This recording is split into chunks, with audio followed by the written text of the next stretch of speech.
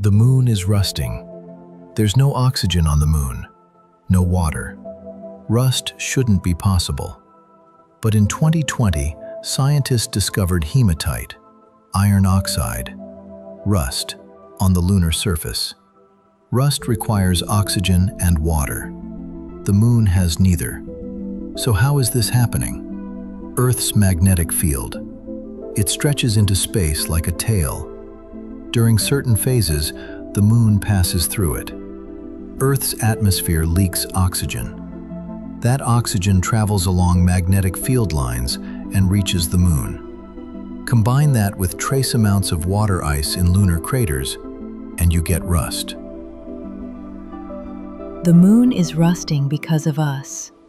Our planet is oxidizing another world. It's happening slowly, but it's measurable.